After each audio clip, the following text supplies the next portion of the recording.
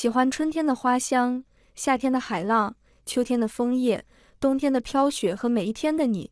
大家好，我是橘子。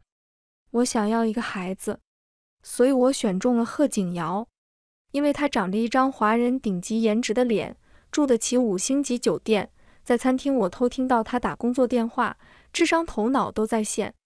我花了半个月接近他，制造各种偶遇，终于在半个月后，我走进了他的房间。贺景瑶的技术对得起他那张脸。微醺之后，感官被无限放大。我的酒品一向不好，我看着居高临下望着我的男人，露齿一笑，一双眼睛都眯成了月牙。我张开双手，他伸手想去拿床头的东西，我拦住了他。不用，我吃药了。他神色一顿，而后发狠地掐住我的腰。你还真是妖精！我跟他在夏威夷海岛上待了七天，整整七天，我们大半时间都在酒店里度过。清晨，我从他的臂弯中醒来，睁眼就能看到那张被女娲精挑细琢过的神眼。我伸手触碰到他的皮肤，用指尖细细描绘他的轮廓。这高挺的鼻梁，漂亮的眼睛，锋利的下颌线轮廓，我越看越兴奋。脑子里已经浮现出自己未来孩子的样子，不管是男孩还是女孩，肯定都超好看。也许是我眼里的兴奋过于明显，他勾唇一笑，在想什么呢？我也笑，手指头慢慢往下。我在想，看着这样一张脸为我动情，真是一种盛大的感官享受。他猛地翻身，把我握住我的手腕。骨骼分明、指节修长的手插进我的发间，骤然用力扣住我的后脑勺。在房间玩够了，我们也会出去看风景。在海岛的沙滩上，我的裙摆被海风扬起，他从背后贴近我，他赤裸的上半身，滚烫结实的肌肉贴着我的后背。这个男人的身材真是该死的惹火。当然，注意到他惹火身材的女人不只是我一个。在他独自转身打电话的时候，就有个金发碧眼的外国美女上去跟他搭讪。他摆手拒绝之后，回到我身边。我笑：“你还真是招蜂引蝶的体质啊！他不是这体质的话，那把你吸引来吗？”我偏头注意到那个金发碧眼的外国美女还在觊觎贺景瑶，这就挑起我的胜负欲了。于是我低头，在他的胸口上留下一枚香吻红唇。我抬眸，用湿漉漉的眼神看着他。你是我一个人的。他眸色一变，呼吸也随即变重。那天我们没有来得及回之前住的酒店，而是就近找了家旅馆。旅馆隔音不好，我死死咬住嘴唇，才压抑住自己溢出来的声音。贺景瑶的嗓音有些嘶哑，带着慵懒的鼻音。温浅，不要忍。整整七天的缠绵悱恻，七天之后，助理帮我订好了回国的机票。刚确定好行程，贺景瑶就拿着红酒和红酒杯过来。我穿着他的衬衫，露着白皙的大腿，纤细的身子陷进沙发里。我把手机灭屏丢在旁边，往旁边一靠，衬衫领口没扣好，露出大片春光。他在酒杯里倒上红酒，我刚想伸手去拿。他却欺身而上，一只手掐住我的脖子，另外一只手拿着红酒杯，自己喝了一口之后，低头吻住了我。甜烈的红酒跟随他的吻一起灌进我的嘴里，我的脸一阵燥热。窒息的吻之后，他微微起身，把刚才没喝完的红酒倒在我的身上，白衬衫被染红，看起来分外妖冶奢靡。我想着，反正是最后一夜。那就再放肆一次吧。于是我主动吻住了他。当晚，我趁着贺景瑶熟睡，在床头留下一张银行卡之后，离开了房间。而我的助理早已经将车停在楼下。两小时后，我就登上回国的飞机，跟这里的一切说拜拜了。事情很顺利。当月我的大姨妈没有如期而至，我一查，两条杠。我欢欣雀跃，收拾东西飞往法国养胎。十个月后，顺利生下高颜值的小公主一枚，爸妈如愿抱上金孙，也不再干涉我的事业。但两年后，我妈无意中晒出来的一条萌娃视频在网上爆火，点赞上百万。我一下子就嗅到了商机，从珠宝设计公司老板高调转变成萌娃辣妈博主，短短两个月迅速圈粉上千万，结果就出事了。婉婉现在两岁出头，长着一张圆嘟嘟的小肉脸，古灵精怪的性格十分讨人喜欢。老妈发的视频无意中爆火。这超乎了我的预料，但是今年公司的生意不好，短视频行业兴起，很多企业都蹭着这股风混得风生水起。我的助理找大师算过，这会是一个绝佳的好机会。我的公司卖的是珠宝和服饰，针对的都是女性。如果我能以一个辣妈的身份站稳脚跟，公司的销量就不用发愁了。而对于婉婉的亲生爸爸，为了不产生那些没用的羁绊，我从来没有去查过他的底细，就当是一场艳遇，对方应该也会很快就忘掉。就算对方真的还记得，并且找上门来，我大不了给他一笔钱，老娘有的是钱。但我万万没料到的是，对方比我有钱。他不想要我的钱，他想要我的命。粉丝破千万的当天晚上，我高兴的独自在家喝醉了酒，难得晚晚去我妈那边住。我一个人独自庆祝这历史性的一刻，喝多了，我在客厅的沙发上倒头就睡。第二天一大早，我就被剧烈的手机铃声吵醒了。我顶着宿醉之后昏沉闷痛的脑袋，摸到了掉在地上的手机，是助理打来的，十几个未接电话。什么事情这么着急呀？我蹙眉点开通话键，电话一接通。助理撕心裂肺的声音就从手机另一边传来：“老板，你快跑！”我有些疑惑，公司最近没欠钱啊。但助理还没来得及说下一句，我别墅院子的大门就被人开着铲车撞开了。我的睡意瞬间清醒一大半，赤脚跑出门一看，发现有几十个黑衣保镖把我的别墅团团围住了，而撞开我家大门的铲车还把我院子里种的多肉给撞翻了。虽然我还不明白是怎么回事，但想我堂堂温前也是见过大场面的女强人。我赤脚顶着鸡窝头，就冲拿着人大喊：“你们是什么人？我报警了！”在我们大中国法治社会下，这帮人还能无法无天了？但下一刻，铲车后走出来一个穿着黑色西装、颀长笔挺的冷峻男人，他表情微怒，似乎在隐忍着什么。本该一丝不苟的头发也乱了，西装里面的衬衫扣子也没扣上，似乎一晚上没睡，就等着此刻来找我算账。对上他视线的那一刻，我的双腿一软，差点跪倒在地。他冷冷嗤笑出声：“温浅，你继续跑啊！”我也想跑，可是我腿软，我跑不动啊。电话还没挂，助理的电话在另外一边响起，他嘶吼：“老板！”你之前在夏威夷勾搭的那个男人，他是港城贺家的掌权人。他知道你怀了他的种跑了，昨天半夜就在你爸妈家蹲守，今天一大早就把婉婉接走了。老板，你快跑啊！你要是被他弄死了，我的工资谁给我发呀？港城贺家掌权人这个词我不陌生，谁不知道鼎鼎有名的贺家呀？更别说那位近两年上位。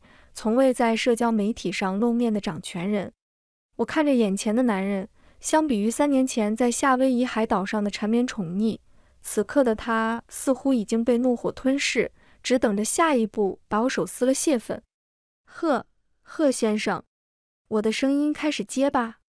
贺景瑶迈开步子，踩过我碎了满地的多肉，走到我面前。你好一招去负流子啊！不敢。还有什么是你不敢的吗？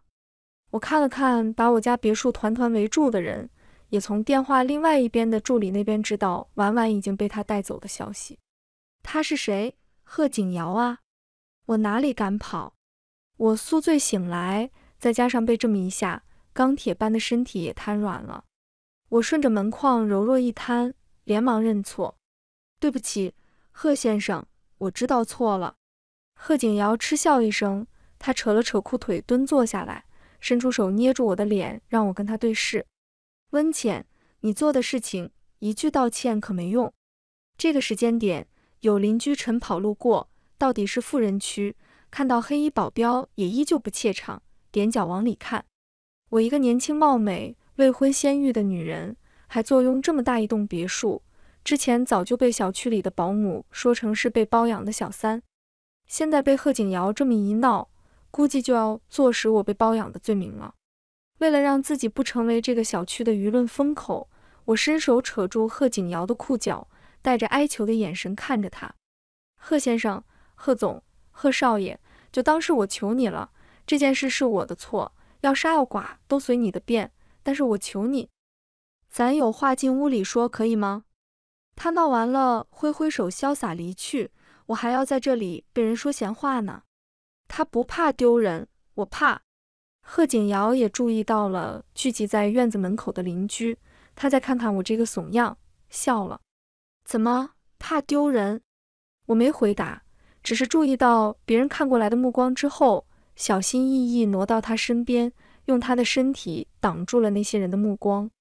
贺景瑶挑眉，激进咬牙切齿，用只有我们两个人听到的声音低语：“你也知道丢人啊！当初你始乱终弃，丢下银行卡跑路的时候，我比你丢人多了。”他说：“温浅，这是你该的。”啊，话是这么说，但贺景瑶还是把我带进了屋里，只不过。是他家屋里，贺景瑶住的那都不叫屋。贺家掌权人的私人住宅是市中心顶级公寓，顶层的两层打通，巨大的全景玻璃窗能俯瞰整个城市的夜景，在寸土寸金的市中心还能拥有个无边泳池，当真是普通人想象不出的奢靡。黑衣人没有跟进来，他坐在黑色的真皮沙发上，用眼神蔑视我。我深知自己的做法不对，正常男人都无法接受自己被始乱终弃，更何况是这位万人之上的祖宗。所以我尽量让自己看起来态度诚恳，低眉顺眼，让他感受到我的认错态度。还没等他发话，我就点头哈腰，拿出我刚创业时填甲方的态度：“贺总，当初是我有眼不识泰山，没有认出您来。要是知道是您……”就算是借我一百个胆子，我也不敢去招惹您啊！我低着头，用余光瞟到他的脸色依旧黑如锅底，觉得自己的态度还不够诚恳。我私心觉得，这种等级的豪门是十分在意血统的。我家虽然也有点小钱，但跟贺家比起来，简直就是小巫见大巫。如今贺景瑶这么生气，一定是因为我偷了他贺家的种。还有我当初留银行卡的行为，刺伤了这位祖宗的自尊。毕竟像他这种人，只有他丢银行卡让别人滚蛋的份。我的行为触到他的逆鳞了。见他不说话，我又实在担心他对婉婉做什么，干脆直接跪坐到他脚边，双手合十，一脸哀求。虽然不想承认，但婉婉在他们贺家看来就是私生子，要是被曝光。他们贺家就会无端多了个丑闻，而婉婉现在已经成了网络上的千万粉丝宝宝，他们肯定觉得这是我蓄谋已久，想要用婉婉威胁他们，试图上位。为了防止这件事曝光，他们很有可能对我和婉婉下手。一想到这，我就先一步解释了：贺先生，你放心，我绝对不会拿孩子来威胁你的。我当初真的不知道您的身份。我也没想过带孩子回去找您，更不敢妄想他能跟贺家沾上什么关系。您放心，我一定会保守住这个秘密，然后带着他离您和贺家远远的。我的态度诚恳，语气柔弱，眼睛眨巴眨巴，硬是挤出几滴眼泪来。我觉得我去面试北影都够够的了，可没想到我越说，贺景瑶的脸色就越难看。他脸色铁青。眼神阴翳，仔细一看，还能看到他隐隐咬紧了后槽牙。我不解，他怎妖还是这么生气？我仔细揣摩圣心，觉得他可能更在意自己当初被我拿银行卡羞辱这件事。我得让他羞辱回来，让他找回面子，他才能消气。于是我赔上笑脸。我当初不应该留了一张银行卡就离开，我深刻的意识到了自己的错误。我这句话一出来，果然看到他的表情松动了，我心里大喜，觉得自己找到方向了，狗腿一般挪上前，伸出小拳头给他捶腿，十分谄媚。应该是您甩银行卡给我，让我滚。我发誓，只要您拿银行卡甩我，我一定听话，有多远滚多远。没想到我话音未落，他就直接把我的手甩开，不让我再碰他。他脸色阴沉，虽然没有大发雷霆，但我知道这是暴风雨来临前的平静。温浅，你跟三年前相比更加无耻了。我啊，我哪里无耻了？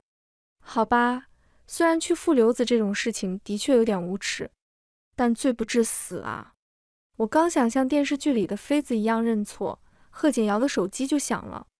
我还想说什么，他一记眼神过来，我瞬间息事宁人，乖乖坐着等他打完电话。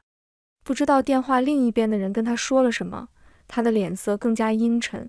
等挂了电话，他就站了起来，他瞟了我一眼，语气冰冷。你好好待在这里，别想搞什么小动作，不然……他话没说完，只是冷哼一声，愤愤然转身离开了。我看着他走出大门，砰的一声关上顶级防盗门，我愣在原地，之后就倒在他家昂贵的羊毛地毯上。我打了个滚，仰天长啸，这都什么事啊？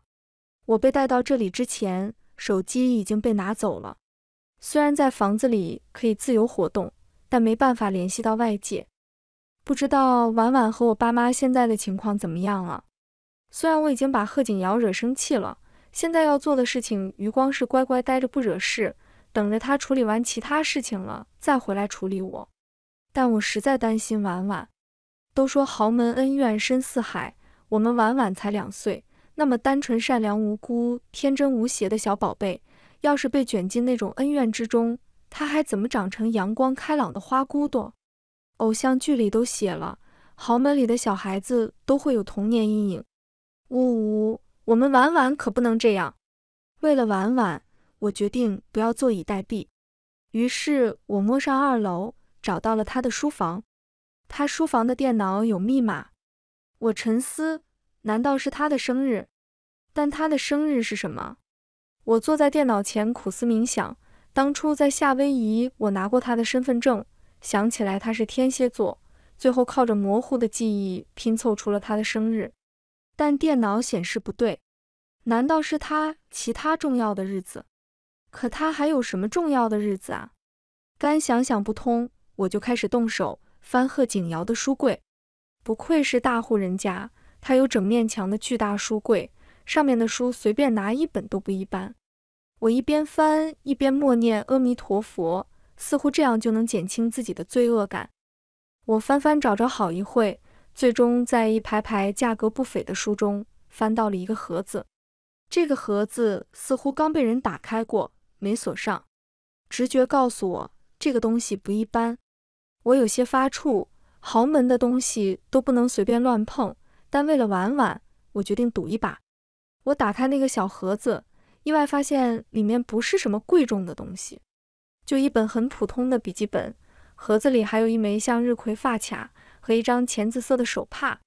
我翻开笔记本的第一页，上面写着：“二零一一年三月十二日。”这是我第一次碰到他，哇槽！原来高高在上的贺景瑶喜欢玩暗恋这一招。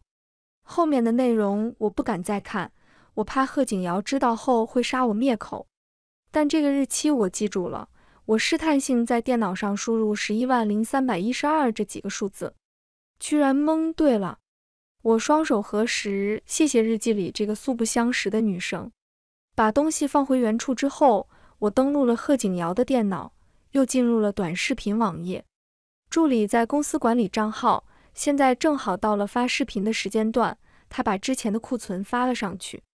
粉丝们不知道，他们喜欢的宝宝和辣妈已经被绑架了。我又搜了关于贺景瑶的一些新闻，了解到了他不少信息。网上对他的资料很少。作为贺家长子，他跟圈子里的纨绔子弟不同。在他掌管贺家之前，他几乎没露过面，低调的不行。他两年多前从他父亲手里接掌贺家，也很少在社交媒体上露面。加上我所做的行业跟他们家的产业完全不一样，所以我这两年都没注意过贺家现在的掌权人，就是我当初招惹的那个贺景瑶。谁能想到啊，我随便在夏威夷找的帅哥，来头居然这么大。谁看了不说一句，我这死丫头命真好。虽然没办法联系到我父母，但从网上的信息来看，目前婉婉的事情还没有被曝光。我看着我们账号的粉丝与日俱增，心里也踏实了不少。我们有这么多粉丝，贺家短期内还不敢对我们做什么。我昨晚宿醉，加上这么一折腾，天气渐晚，贺景瑶还没有回来的迹象。我在冰箱里找了一瓶水喝了之后，就靠着沙发睡下了。也不知道过了多久，我隐约察觉到身边有人，但我的眼皮又实在太沉，怎么也睁不开眼睛。只能任由自己被对方抱起来。我被抱到了房间里，我兴许是睡昏了头，一时之间竟分不清现实还是梦境。在对方把我抱到床上的那一刻，我嗤笑两声，伸手拉住对方的衣领，就把他往我身上带，边拉还用痴汉的语气说：“嘿嘿，帅哥，给我摸摸。”我明显感觉到压在我身上的人身形一降，但我见他没躲开。又觉得是在梦里，就变本加厉。我直接扯开他腰间的衬衫，把手伸了进去，指尖触碰到那棱角分明、手感极佳的八块腹肌时，我便发出满足的喟叹。正当我准备再狠狠蹂躏一把的时候，我听到了那道熟悉但又冷冰冰的声音，温浅，宛如阎王勾魂。我的瞌睡一下子就被击散了。我睁开眼睛，对上贺景尧那双几近喷出火来的眸子，吓得魂飞魄散，想猛地坐起来，却被他按住肩膀，重新压在床上。他居高临下的俯视我，我还想挣扎，他却一把握住了我的手腕，把我禁锢在床上。我大惊失色，他冷嗤一声：“你还真是跟之前一个样，好色。”我本想挣脱开他，但尝试了一下。他单手就能握住我的两个手腕，体力悬殊，他的体格也比我大好多，我只能示弱。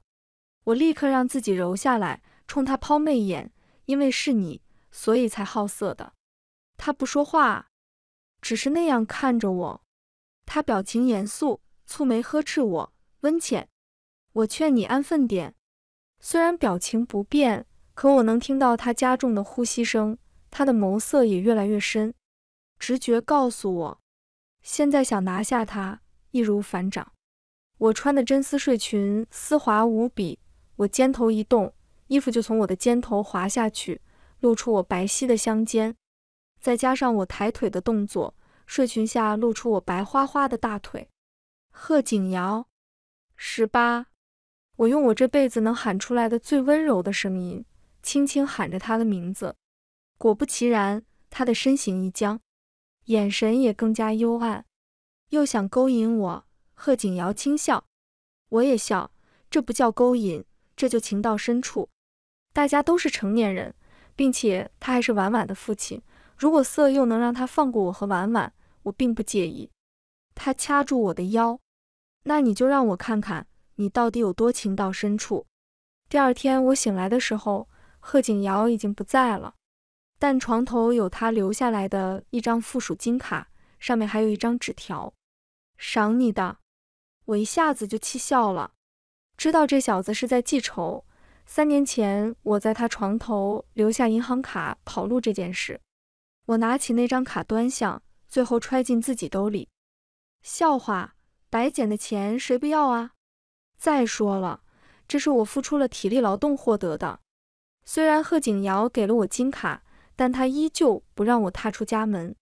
趁着他不在家，我又跟昨天一样溜进他的书房里，先是打开他的电脑看了一下新闻，确定没有贺家私生女等新闻传出来，才放下心来。我坐在贺景瑶的书房里，看着周围很符合他人设的装潢，站起来到处看了看，想着这些有钱人会不会像电视里那样弄一个密室，但密室没找到。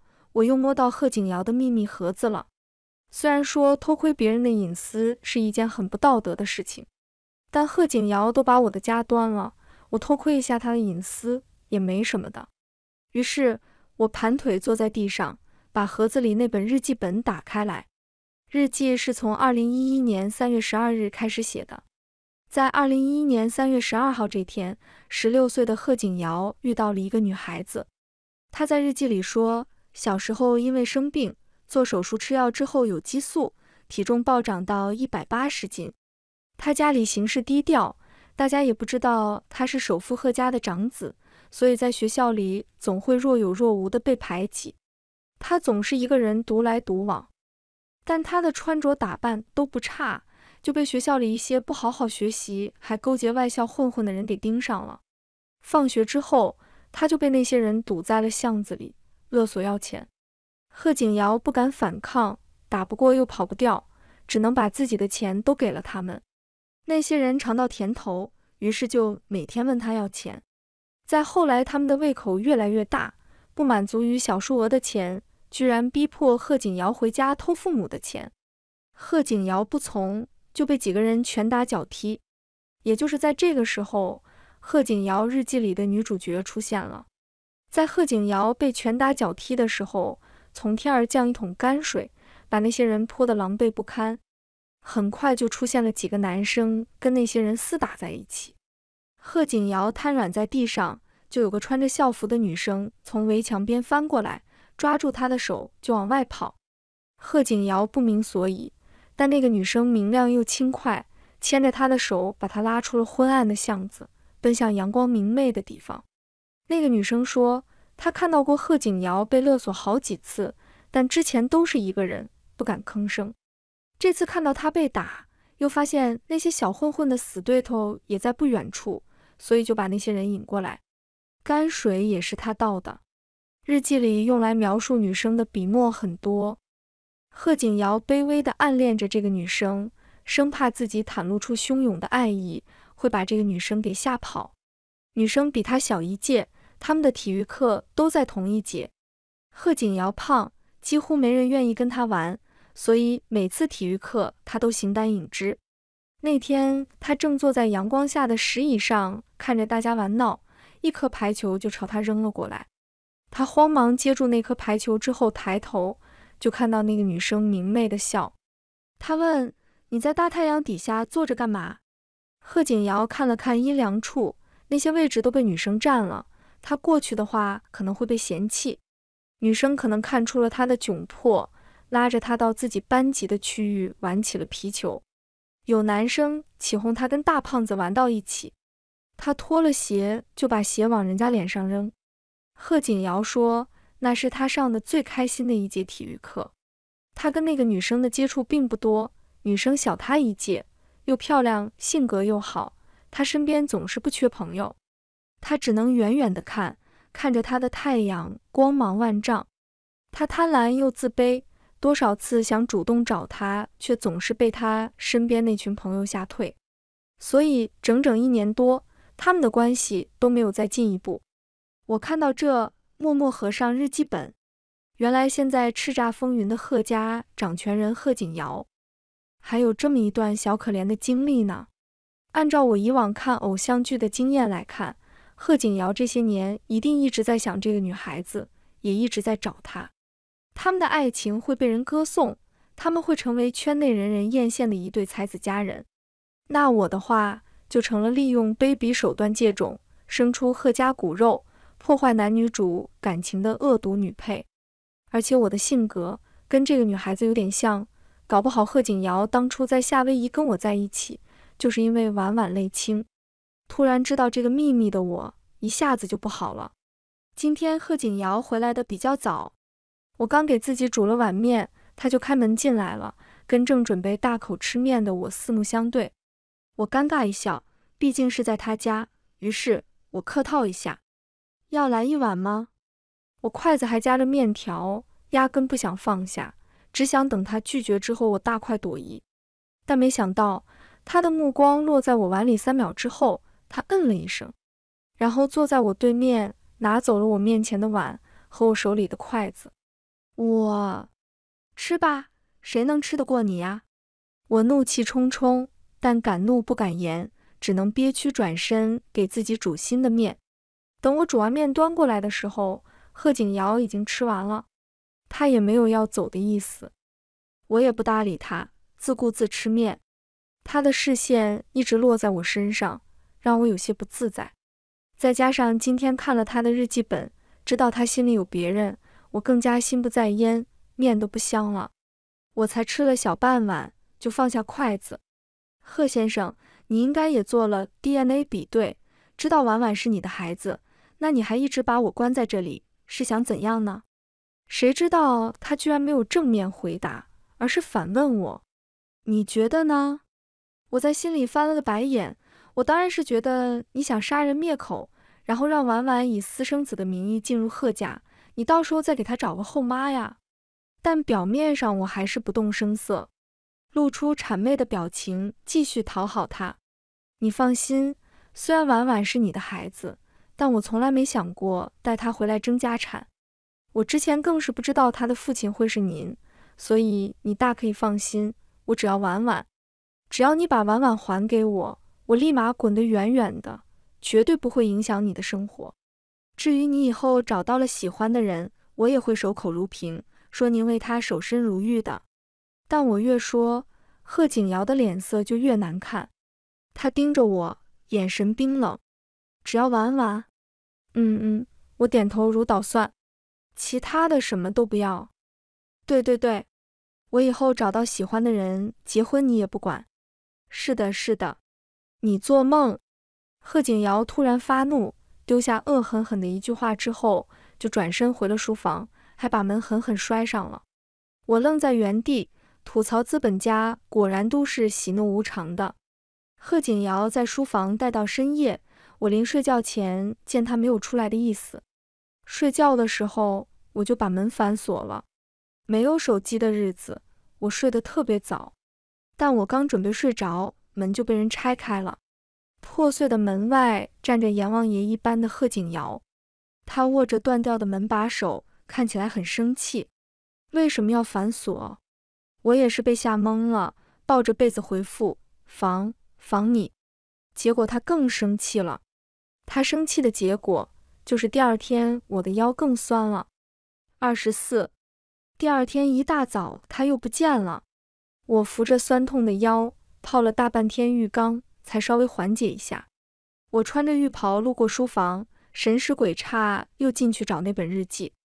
昨天我刚看了一半，还不知道贺景瑶最后跟那个女生怎么样了。我摸出那本日记本，盘腿坐在地上看。后面的日记内容并没有很多，都是贺景瑶的个人视角。他跟那个女生再也没有其他交集。在日记里，他说。过了一年，那个女生转学了，正好他家里人知道他在学校被欺负，也帮他转学，直接送到国外念书。这下子两个人就此分道扬镳。后面好几年的日记写的都是琐碎的日常，偶尔会提到那个女生，但也仅仅是贺景瑶的思念。我没耐心，一点点看完，就随手翻到后面，扫了一眼，发现上面写着：“不敢相信。”我居然又遇到他了，但我刚想往下看，书房的门就被人从外面打开了。贺景瑶赫然出现在门后，因为偷看人家日记心虚，我灯都不敢开，只能靠着从窗帘透进来的阳光偷看。现在他一开门，唰一下把灯打开，我好像一个被当场抓住的小偷。我跟他对视的第三秒，我就明白我躲不了。于是我把日记本合上，丢到一边，盘坐的姿势迅速转变成跪在地上，然后双手合十，十分诚恳：“对不起，我错了。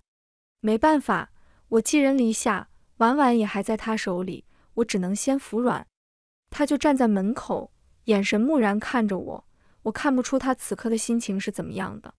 但如果我是他，自己的秘密被人发现，我也会生气的。我小心翼翼看着旁边没关紧的窗户，心想他等会不会把我从这里丢出去吧。就在我忐忑之际，他突然迈开步子朝我走来。我只能认栽，毕竟偷看人家日记这种事情本来就是不对的。所以在他迈步朝我走来的时候，我已经想好一百八十种可能。最后我心一横，双手打开做承受状，然后大喊一声：“你要杀要剐，冲我来，别伤害婉婉。”可预想之中的惩罚没有到来。等我睁开眼，看到的是蹲在我面前的贺景瑶，他表情温和，看不出半点生气的意思。我一愣，他这是气糊涂了。结果他捡起日记本，视线又落在我脸上，依旧温和。看到哪了？我觉得这是黎明前的黑暗，声音直接哆嗦。看，看到你又见到了他。其实我想说还没看完，但我有点哆嗦，说不出来了。然后他笑了，继续问我：“所以你想起什么来了吗？”我，我内心大惊，心想：有钱人都玩的这么变态了吗？要教训我，还要我自己想。我小心翼翼，试探性开口。想起什么呀？想起他新仇旧恨一起报吗？呜呜，这个男人太可怕了！你当真没想起什么吗？说出这句话的时候，贺景瑶的眼神都变了。我更奇怪了，头脑风暴许久之后，还是在他期待的目光中摇了摇头。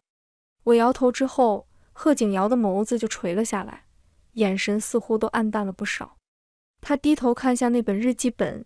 眼神里涌现出一些我看不懂的情绪，就算我在迟钝，也察觉到了贺景瑶的不对劲。但就当我准备象征性关心一下他的时候，他却随手把日记本丢给我，然后站起来，恢复平日里那副盛气凌人的样子。我拿着日记一脸懵，这是觉得我玷污了他的日记，直接不要了。我抬眼看他，他冷冷的视线落在我身上，从今天起。我还你自由。贺景瑶说完这句话之后就离开了。我回到卧室思索好久，最终还是换上自己的衣服准备回家。路过一楼客厅的时候，意外发现餐桌上有我喜欢吃的甜品。想着他刚才出门应该是买甜品去了，他应该对我也是有些好感的，所以才会给我买甜品。结果他一回来，我就看到我在偷看他写给白月光的日记本。我跟白月光肯定是白月光重要啊，所以他现在把我赶走了。想到这，我鼻尖漾起一阵酸楚。走就走，有什么了不起的？我是被他掳走的，离开的时候也没有什么行李，这几天穿的用的，他都在离开之前让我准备好了，但我什么都没拿走。我安安全全回到家，助理正在看着工人师傅修我家的大门。他一转头看到我，呜呜呜的就扑上来。老板，你终于回来了。我离开也才几天，但贺景瑶切断了我跟外界的联系，这就感觉度日如年了。爸妈不知道我当年在夏威夷干了这档子事。当初我只跟他们说跟前男友分手了，打算自己养孩子。现在孩子爹找上门，还把婉婉带走了。我妈急得睡不着，给我放话。不管你跟你这个渣男前男友有什么过节，但是他胆敢动婉婉，我就跟他拼命。我一边喝他熬的汤，一边安抚他。放心吧，妈，就算血洗贺家，我也会把婉婉带回来的。话是这么说，但具体怎么把婉婉带回来，我也没有头绪。开玩笑，那是贺家，我只是有点小钱，跟贺家完全没办法比。但可以肯定的是，贺景瑶暂时不会对婉婉做什么，我就可以先安心处理落下的工作。跟婉婉的账号持续涨粉，影响力逐渐扩大，公司产品销量也跟着水涨船高。但我一点也开心不起来。这天跟着助理去谈合作，对方是个看起来斯文彬彬有礼的男人，四十岁左右，看起来一表人才，工作能力也不错。他们公司有意向跟我们合作，开展新的产业线。包厢里只有我、我助理、他，还有他的特助。眼看着合作确定下来，我给自己倒了一杯白酒。宋老板做事爽快，能跟您合作是我的荣幸。这杯酒我敬您。我的酒量不错，哪怕刚才已经喝了不少，但这杯白酒下肚，我也还是清醒的。宋老板看起来心情也很愉悦，但我放下杯子之后，他却给我的助理和他的助理使眼色。生意人总是有些不能见光的话，我也理解。于是就让我的助理跟他的助理一起出去了。我以为他是有什么工作上的事情跟我说，可谁成想，助理一走，宋老板就直接挪过来，坐到我旁边的位置，身边也朝我倾斜。温浅小姐，你觉得我这个人怎么样？我察觉到有一丝不妙，但又怕对方没有那个意思，自己反倒太大惊小怪。所以还是面带微笑。宋老板是一个很成功的生意人。哎，不是这意思。他啧了一声，带着酒意，直接握住我的手。我们现在不谈工作，从女人看男人的角度，你觉得我这个人怎么样？这个宋总的底细我大概了解。早年跟大学时期的女朋友结婚，生了两个孩子，但是前几年感情不和，跟他老婆离了婚，分走了他大半财产。但他也没有任何怨言，还会给孩子砸钱解决事情。可能是因为自己也有婉婉，所以见到对孩子好的人，我总是会对他们放下防备。但他的这个行为已经让我感到不舒服了。我尬笑，拉回自己的手。宋总，你喝多了。我没喝多，温浅。从我见到你的第一眼起，我就喜欢上你了。你单身，我也单身，我的条件你也看得到。我最烦的就是借着工作之名行流氓之事的人，让老子赚不到钱，还莫名被塞了一嘴屎。我忍着恶心，继续面带微笑，想着到底是签了合同的合作对象，不能撕破脸。宋总，我暂时不考虑这方面的问题。谁知道他激动了，怎么能不考虑呢？你都快三十了吧，还带着个孩子，再过几年你就知道了。没人会愿意要一个三十多岁还带孩子的女人的。我现在是喜欢你，所以才不计较。老子方年二十八，我强忍怒气，就不劳您费心了。我的感情生活我会自己处理，就算孤独终老，我也养得起我女儿。我看您是真的喝多了，我这就叫您助理带您回去休息。我说着就站起来，打算去门口喊人。谁知道他听出我话里的拒绝意味。直接恼羞成怒，翻脸冷哼：“温浅小姐，你也太不知好歹了吧！我能看上你是你的荣幸，不然你带着一个来历不明的小野种，哪个男的能看得上你？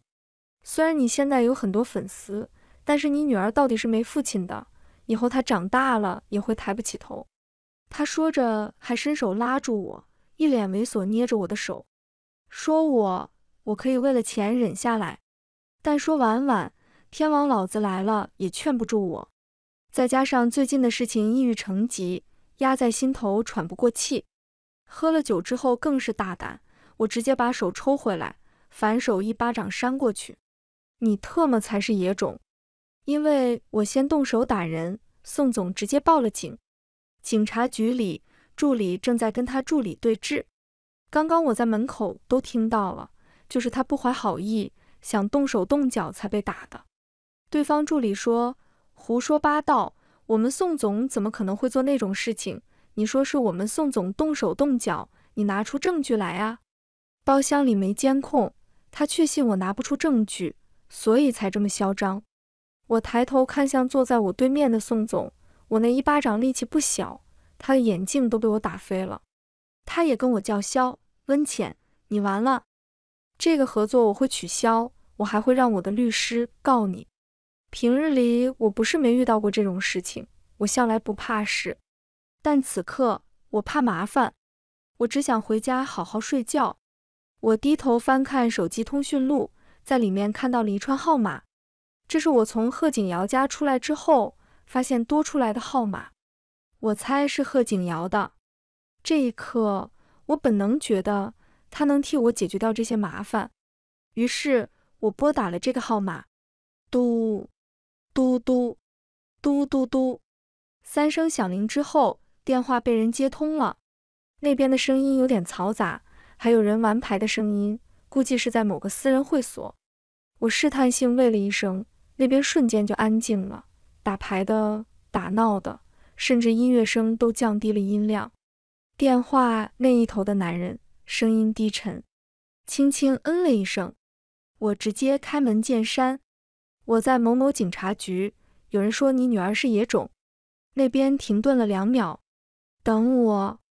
其实打电话之前我也很忐忑，他会不会接？他会不会来？这种忐忑不安，在他说等我之后更加浓烈了。直到半小时后。那个身形高大的男人出现在警察局门口，他身后跟着两个人，一个是他助理，一个是律师。宋总似乎认识贺景瑶，看到贺景瑶之后，直接忽视我的存在，带着谄媚的笑迎上去。贺总，您怎么在这？但贺景瑶的视线却绕过他，落在了我身上。我甩了宋总一巴掌之后，他想还手。争执间，红酒泼了我一身，发型也被弄乱了。现在的我样子好不狼狈。他不理会宋总，迈步走到我面前，朝我伸手。是我叫人家来的，我也不扭捏，握住他的手站起来。他的视线落在我脸上，受伤了吗？我点点头，把手指伸过去。刚才扇巴掌的时候，美甲差点劈了。贺景瑶也没过完其他的事情，拉着我就往外走。宋总看到贺景瑶拉着我，脸色简直比吃了苍蝇还难看。他想上前解释什么，被贺景瑶的助理拦住。你好，有什么事请跟我沟通。我的助理也留下来一起善后。贺景瑶已经把我带走了，司机在外面等着。我跟他坐上车的后座，进入密闭空间。我才闻到了他身上有酒味。他问去哪儿？回家。我说想了想，又补了一句回我家。他也不说话，沉默良久，才淡淡嗯了一声。司机也很上道，得到指示直接踩下油门。一路上，贺景瑶都没说话，他闭着眼休息。我侧头看去，车窗外是灯红酒绿。衬得他的侧脸轮廓更加完美。有钱人跟有钱人是不一样的，像贺景瑶这个档次的，你看不出他身上有任何金钱的世俗，可他举手投足之间都是欲望被满足之后的疲倦松弛感。看不到钱，却处处都是钱。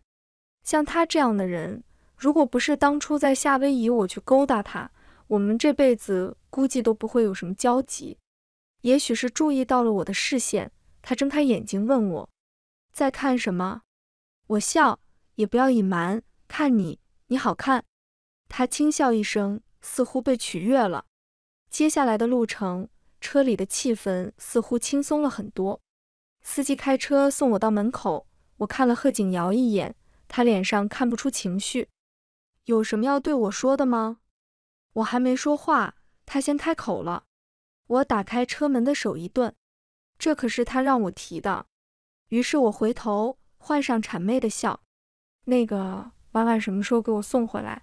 他见不到妈妈会难过的。滚！我话音未落，他就让我滚了。那我还能怎么办呢？只能麻溜滚蛋了。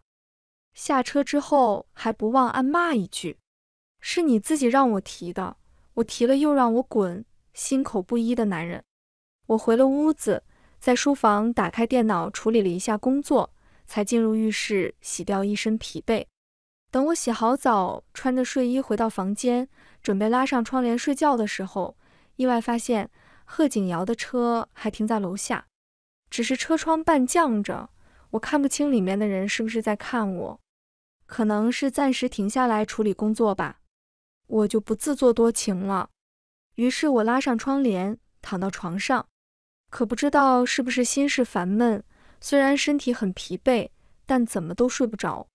打开手机一看，凌晨两点多。我又起身去打开窗帘，但楼下的人和车都不见了。果然不是为了我，贺景瑶出手，我不用担心事情处理的结果。第二天，助理就把结果告诉我了，合作照旧，宋总被原公司开除。之前他干过的丑事也被抖出来了。原来他老婆离婚是因为他 PC，还拿公款养小三。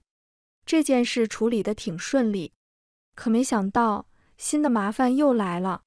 不知道是从哪里传出来的。我跟婉婉还有贺景瑶一起上了热搜。萌娃网红是豪门私生子的词条在热搜榜上居高不下。我最担心的事情还是发生了。我本来以为贺家会在意名声，会动手把热搜降下来，但是大半天了还是没动静。我正准备给贺锦瑶打电话呢，就有人找到我办公室来了。脚踩华伦天奴，一身香奈儿套装，手挎爱马仕包包的财阀李大小姐冲进我的办公室之后，端起我桌子上的热咖啡，直接朝我泼来。当然。没泼到我，自己还被咖啡烫到了。他原地尖叫：“你个贱人，你居然勾引贺哥哥！”我一愣：“请问您谁啊？”勾引贺景瑶这件事我承认，因为我的确干过。但这位大小姐跟贺景瑶又是什么关系呢？她凭什么管我，还找到我公司来？她哼了一声，下巴高高扬起：“我是从小一起跟贺哥哥长大的，跟你们这些女人可不一样。”我以后是要跟他订婚的。我一挑眉，不好意思，我认识他这么久，从没听说过他有什么要订婚的对象。这句话是真的。当初在夏威夷，我是确定他单身才下手的。我想来不会招惹有妇之夫。我这一席话好像把他彻底激怒了。他直接指着我破口大骂：“你们这些女人我见得多了，以为爬上贺哥哥的床。”就可以嫁入豪门吗？我告诉你，贺家才看不上你这种货色呢。我不理他，他就开始砸东西。我全部心思都在婉婉身上。刚才就看到有人在网上说婉婉是私生女，来历不明。我忙着取证报警，压根不想搭理这个女的。所以在他扑上来准备打我的时候，助理已经叫来了保安。他没办法靠近我。只能把我的办公室砸个稀巴烂。我嘱咐助理注意他砸了哪些东西，报警给报个好价格。说完我就出门了。那财阀大小姐还想扑上来打我，助理直接抱住她的腿，拖着她不让她走。助理还大喊：“老板快跑，我善后！”我满头黑线，不知道的还以为我是古代被追杀的大小姐呢。贺家不管这件事，我管。我直接联系了几个大营销号，让他们协助我发出声明，说婉婉绝对不是私生子，绝对不是我用来嫁入豪门的工具。这几个营销号的皮下也很喜欢婉婉，再加上我打了不少钱，他们立刻整理出了素材。视频一出，网上的风评也赚了不少。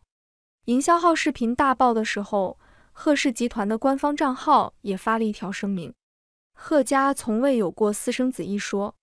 这一条声明直接击碎谣言，所有的质疑全都消散了。我也松了一口气，终于不会有人骂婉婉了。但转念又想到，贺家这是不承认婉婉的存在了。我脑子里浮现出贺景瑶的脸，他是不是也不想要婉婉？我心里泛起一阵酸楚。我跟他本来就是萍水相逢，是我自己擅自生下婉婉，贺景瑶不承认。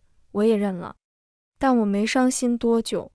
女本柔弱，为母则刚，在孩子面前还谈什么感情？贺家居然不承认婉婉，那干嘛还要把婉婉带走？我前些天就找了私家侦探，一直跟着贺景瑶，早就已经打听到婉婉现在在贺家老宅。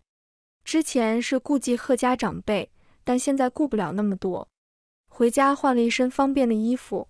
我就找上了贺家老宅，一开始想的是光明正大走进去，然后把婉婉带回来的。结果还没走到大门，我就看到贺家的围墙有一个地方坏了。见四下无人，我直接钻了进去。此时是盛夏三伏天，院子里没什么人，虽然有不少监控，但我都敢进来偷人了，还怕什么监控啊？直接大摇大摆走进去了。正走着。迎面走来两个端茶的小姑娘，穿着一样的衣服。她们一看到我也愣了，但今天的新闻过于爆炸性，婉婉住在贺家，她们肯定也认识我。我直接开门见山，我是来找婉婉的。两个小姑娘相视一笑，其中一个对我做了请的动作。您跟我来。我跟着她走过弯弯绕绕的中式走廊，来到一处小花园，大老远就能听到小孩子的嬉笑声，是婉婉的声音。小姑娘示意我到了，她就转身退下了。等她走后，我才慢慢靠近。池塘花园边不仅仅是婉婉，还有一个头发花白的老太太。最近我关注贺家的新闻，认出这位是贺景瑶的奶奶。她正陪婉婉玩耍，婉婉穿了一身中式的小裙子，头发绑了两个小辫子，脖子上戴着金灿灿的平安锁。他追着蝴蝶跑，一不小心摔在草地上，贺奶奶立马紧张的小跑过去。哎呦喂，我的乖曾孙啊，可被摔坏了！我不禁蹙眉，这怎么跟我想象中的不太一样？贺家不是发了声明说贺家没有私生子吗？我原以为婉婉在贺家老宅的处境会不太好，但看到现在这样，怎么感觉她已经融进去了？我站在暗处，看着贺老太太陪婉婉玩，等玩累了，婉婉坐到凉亭的椅子上，喝着贺老太太递过来的果茶。她撇撇嘴：“祖奶奶，我还要多久才能见到妈妈呀？”呜呜，我的宝贝女儿还记得我。贺老太太叹了一口气：“祖奶奶也想见到你妈妈，谁让你爸没出息，这么久了还没搞定你妈妈？这倒是挺让我意外的。听了这么久，我再不出去就没礼貌了。”我从暗处走出来，婉婉一下子就瞧见我了，欣喜地朝我扑来：“妈妈！”我抱住她，然后对老太太行礼：“贺老夫人，请原谅我的不请自来。”我只是太想见婉婉了，贺老太太倒也没有意外，笑嘻嘻招呼我坐下。阿景带你来的吧？我有些尴尬，但还是坦白了，不是我自己翻墙进来的。谁知道贺老太太突然变脸，没用的东西！看我愣住，老太太立马解释：我不是骂你，是骂我那个没用的孙子。前些天就说他会处理好，然后把你带回来。结果这小子还是搞砸了，我有些纳闷。按理说，别人知道自己孙子在外面有个孩子，都会有所怀疑。再者，贺家是豪门，就像今天找上门那个女人说的，多的是想爬上贺景瑶床的女人。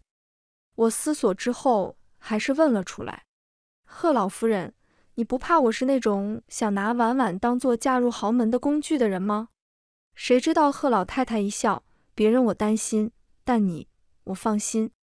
啊，什么情况？我跟贺老太太没什么交集呀，我也没做过什么就老太太呀。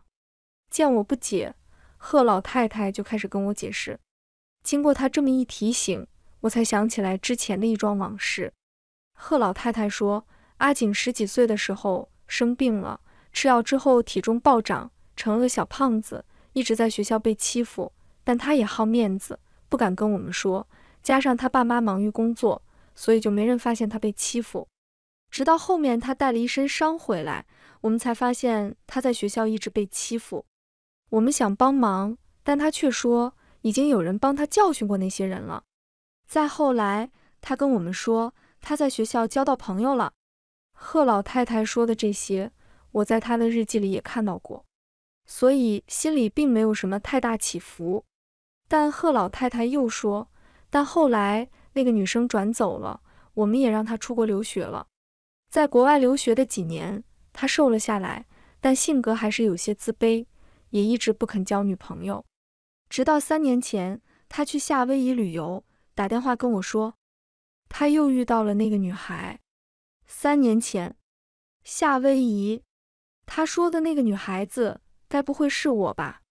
见我一脸震惊。”贺老太太给了我肯定的答案，没错，那个女孩子就是你。但是她跟我说，那个女孩已经记不得她了，她只能灰溜溜回来。我原本以为这件事就这么结束了，但前段时间她突然跟我说，她找到你了，并且你们还有个孩子。本来我是不相信的，直到她把婉婉带到我面前，我才相信。她爸妈去世后，家里就我跟她，冷冷清清的。所以婉婉的出现就是上天给我的礼物，啊！我一脸震惊。所以贺景瑶跟我早就认识了。我仔细回想自己中学时期的一切，当初我十五岁，现在我已经二十八了，十三年过去了。我中学时期本来就是乐于助人的性格，帮过不少人，再加上我跟当初的小胖子交情的确不深。至于贺景瑶日记里提到的那个女生转学了，我根本没转学，是因为见义勇为的时候把腿摔伤了，就休学了。所以，我当初救的小胖子真的就是贺景瑶。所以我之前都在吃自己的醋，我脑子还没转过来。贺老太太笑嘻嘻带我回去休息，说让我今晚留下来吃饭。婉婉在这里有很漂亮的公主房，所有人都对她客客气气的，喊她小姐。我心里才放下心来，看来贺家已经接纳她了。我在婉婉的房间休息，婉婉见到我很高兴。妈妈，妈妈，你终于来找我了。祖奶奶说妈妈在跟爸爸生气，所以才没办法来见我，是这样吗？我叹了口气，就当是默认了。婉婉抱了抱我，爸爸长得很好看，对婉婉也很好。他还准备了一个很大的钻戒，说要给妈妈求婚。妈妈不要生气了吗？求婚？我想起贺景瑶那副冷漠的样子，他怎么可能会跟我求婚？等到了晚饭的点，贺老太太把我们叫去吃饭，足足七八个佣人忙上忙下准备餐食。我刚落座。老太太就说：“我已经打电话让那混小子回来了，估计也快到了。你们先好好吃个饭，然后再把话聊开吧。”没过多久，外面传来汽车的引擎声，接着脚步声逼近。贺景瑶一身黑色的得体西装出现在我面前。他看到我，眼里闪过欣喜，但很快他又恢复平静，问我：“你怎么在这？”我微微一笑：“奶奶和婉婉叫我来的。”贺奶奶不满意他的语气，沉声道：“我叫他来的。你要是不会好好说话，可以先不说。”在贺老太太的协调下，他安静坐到我对面。这顿饭气氛诡异，但自从我知道他日记里的人是我，我就只想笑。这小子这几天原来都是欲擒故纵啊！好不容易熬到吃完饭，贺老太太乐呵呵把婉婉牵走了。我看向他。带我逛逛吧。贺景瑶不吱声，但已经站起来，带着我后花园走。走在池塘上方的廊亭，他先开了口：“奶奶都跟你说了。”我嗯了一声。所以你之前为什么不告诉我？他沉默片刻，因为在生气。我没说话。他又道：“我以为在夏威夷，你已经把我认出来了，结果你只是想去富流子，直接丢下我跑了。”我有些尴尬，这件事的确是我做的不对。那我要是一直没认出来你，你是不是就不喜欢我了？他停住脚步，转身直视我的眼睛。他的眼睛生得很好看。之前在床上，情到深处，我总是会被他的眼睛吸引，沦陷。对视之后，他十分正式地说：“不会，我只是在生气。等我不生气了，我就会去找你。”感情这几天他这么别扭，都是因为在生闷气呀。我想了想，又道：“那你们的官方账号怎么发声明说你们家没有私生子啊？我还以为是不愿意承认婉婉呢。谁知道他说婉婉是我的亲生孩子，是贺家这一辈第一个也是唯一一个孩子，怎么会是私生子？原来是这个意思啊！我又问婉婉说：“你给我准备了一个很大的钻戒。”准备向我求婚，他也没否认，点了点头。我的眼睛顿时就亮了。钻戒呢？他嘴角一抽，你看到钻戒比看到我还高兴。他冷笑一声，恢复平日里欠扁的样子。我还在生气，所以还不打算给你。我一听，那哪能行啊？我的大钻戒肯定要趁早拿到手。于是我踮起脚尖，在他的唇上落下一吻。然后满怀期待看着他，现在还生气吗？他眼里闪过一丝动容，但很快他就占据主导地位，慢慢逼近我。温浅，当初在夏威夷，你可不是这么讨好我的。我有些羞赧，虽然我本质上是个大色女，但这毕竟老宅，婉婉和贺奶奶都在。眼看着他已经逼近，我只能扭头躲开。别，等会被人看到了不好。谁知道他直接捏住我的下巴，逼我跟他对视。他笑得蛊惑人心。你难道没发现后院已经没什么人了吗？奶奶故意给我们制造机会呢。经他这么一提醒，我才想起来，刚才去吃饭时一路都有人，可现在偌大的后花园居然一个人都没有。我的脸红成了血馒头，他温热的吻落在我的唇上。我们不要辜负奶奶的一番好意。当然，我在老宅留宿了。当然，又是腰疼一夜。第二天，我睡到日上三竿，等睡醒的时候，一摸手机，发现助理又发了几十个电话。我一接通，助理火急火燎的声音传来：“呜呜，老板，我们婉婉成为超级豪门小公主了。”我看到他微信上发来的新闻，原来是贺家官方账号大半夜发了消息，说婉婉不是私生子，而是贺家长孙。而至于我，声明里是这么说的：之前一直未公开，是因为我们总裁还没有得到认可和名分。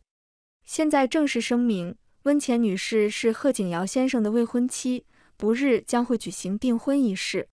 我正看着浴室的门被人打开，某个身材完美的型男裹着浴巾出现，他周身萦绕着水汽，慢慢向我靠近，暧昧至极。他把硕大的钻戒套在我的手上，所以温浅小姐什么时候有空跟我去领个证，正式给我个名分啊？番外。领证之后的当天晚上，贺景尧的朋友给我发来一个视频，是在某一个私人会所，一向雷厉风行、不怒而威的贺家掌权人贺景尧喝醉了酒，满脸通红，正捂着脸哭。他不记得我，他还只想要孩子。我说还他自由，他就麻溜离开我的房子了。他不要我了，我该怎么办？我看着视频里哭得泪流满面的男人，哭笑不得。男人恋爱脑起来真是不要命啊！但都领证了，我还能怎么办呢？以后只能对他好一点呗。